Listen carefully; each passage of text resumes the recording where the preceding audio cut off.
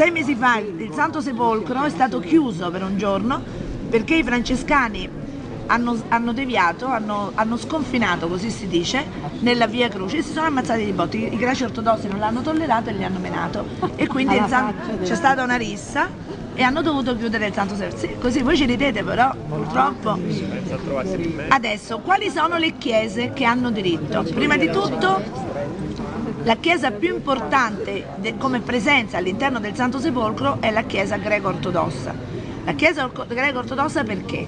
Perché la chiesa ortodossa è quella che è rimasta qui. I latini sono, si sono spostati a Roma, c'è stato quindi un abbandono, un abbandono, ma poi lo scisma tra la chiesa orientale e la chiesa latina ha fatto più importante qui come presenza la chiesa ortodossa, per cui il luogo della crocifissione e il luogo della sepoltura sono gestiti dai greci ortodossi. Che significa gestiti? Significa che davanti a, due cappelle, a questi due posti ci sono due preti greci ortodossi che stanno lì, si danno il cambio naturalmente, ma ci sono sempre loro, sono i custodi. Come seconda chiesa per importanza c'è la chiesa armena cattolica, la quale gestisce delle aree all'interno del, del Santo Sepolcro ed è la seconda chiesa per importanza.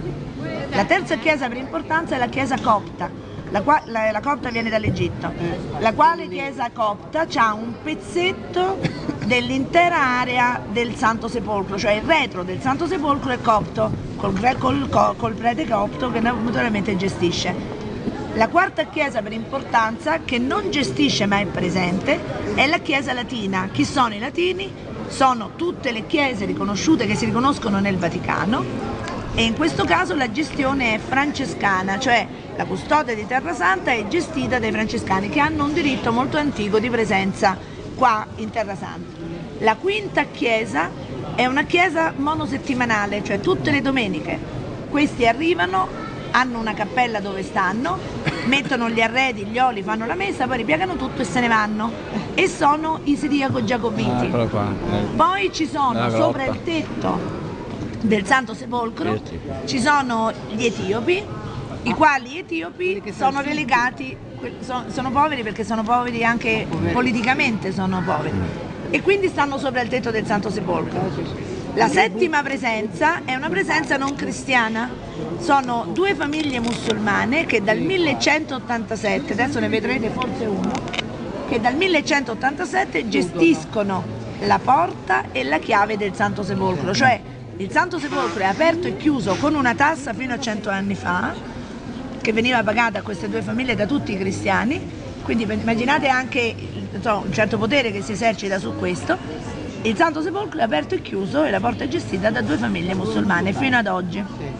Questa è la storia.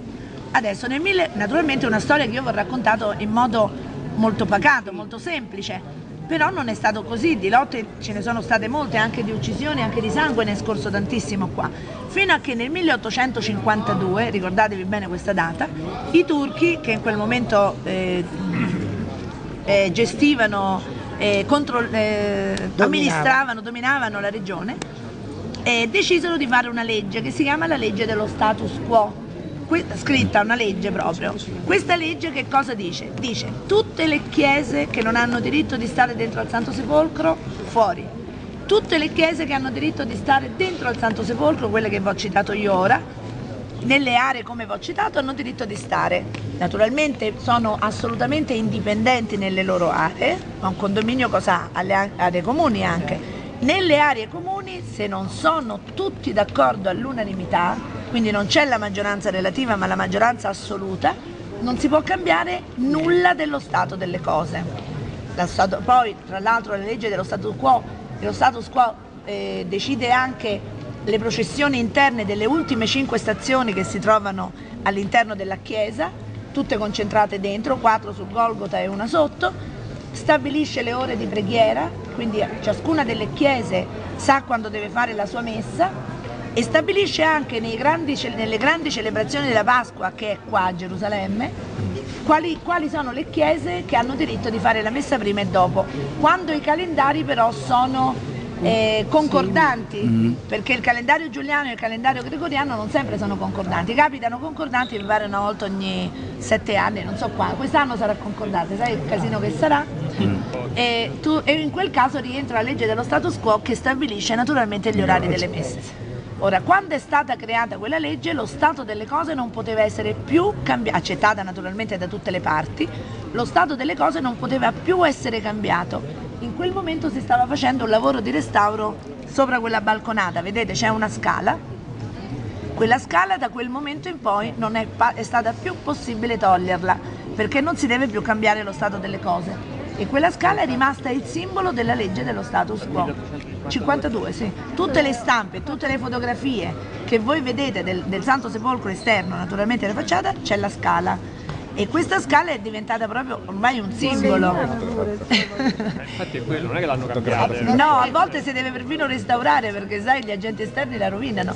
Per cui rimane lì proprio per questo motivo. Che usano per entrare dentro sì. la chiesa. Ora noi entreremo dentro la chiesa, faremo, tenteremo di fare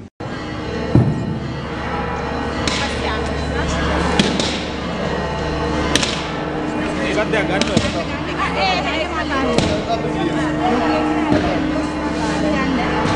ලොක් එක්කන එනවා මල්ද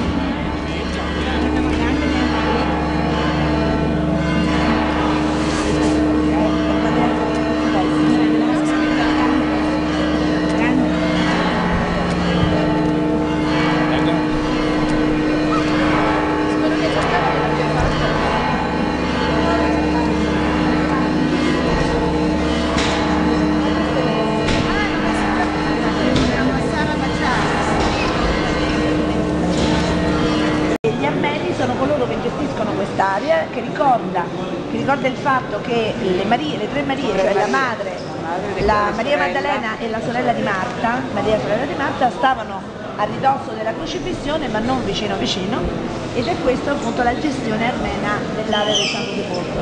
Guardate l'edicola, l'edicola è tre quarti greca ortodossa e un quarto copta, vedete se c'è una